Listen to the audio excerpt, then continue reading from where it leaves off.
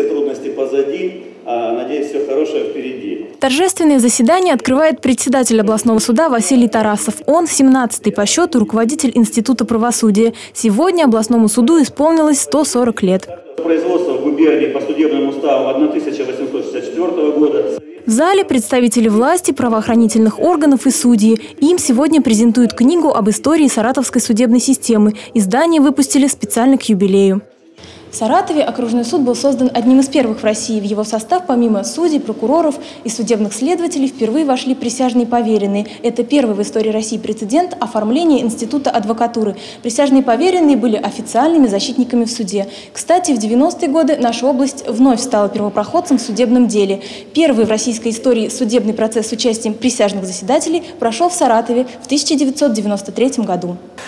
В Саратове расследуют убийство областного прокурора. Евгения Это, пожалуй, самое громкое за последние несколько лет дело рассматривали в областном суде. Убийство прокурора Евгения Григорьева в 2008-м прогремело на всю Россию.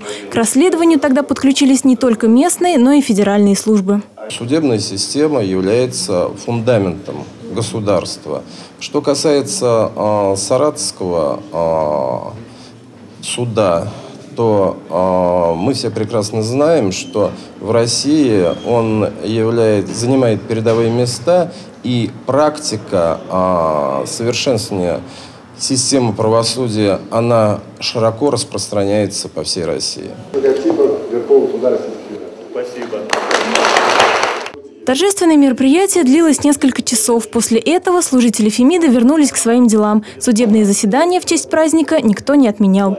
Ксения Перекосова, Александр Королев. Новости. Телеобъектив.